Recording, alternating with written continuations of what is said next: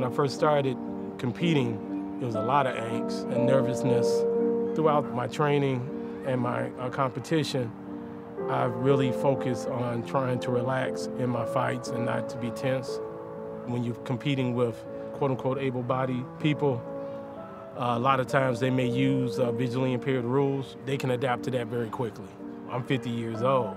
And I look at that as more of a challenge as an age thing, fighting people 20 years my junior.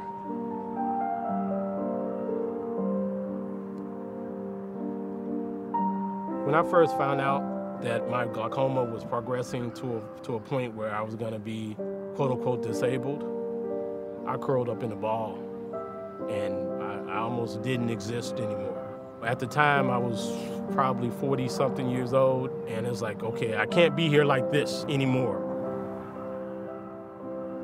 When I had my first judo lesson, I came into a Southside Park District, and once I was helped off with my shoes, I was on the mat. And the one thing that they did was teach me how to fall. And then it was like a deja vu moment because I realized that they taught me how to fall when I was in the Marine Corps by experiencing judo and just experiencing life as an older person, you learn it's very good to know how to fall because things happen in life that may knock you down.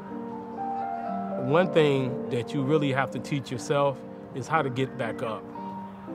You have certain obstacles and certain barriers and certain things that life throws at you, but knowing how to get back up and to fall again and knowing that you're going to be okay. And actually, it's going to be a benefit to you falling and getting back up.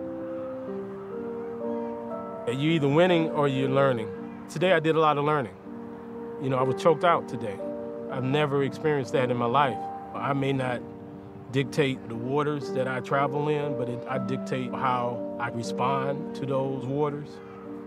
Sometimes you fail, sometimes you succeed, you just got to keep getting up, keep trying. Just by doing your best, you're winning.